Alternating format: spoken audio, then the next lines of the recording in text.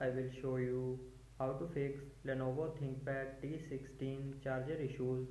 So before starting the video don't forget to subscribe the channel and also press the bell icon. So let's start the video without wasting any time.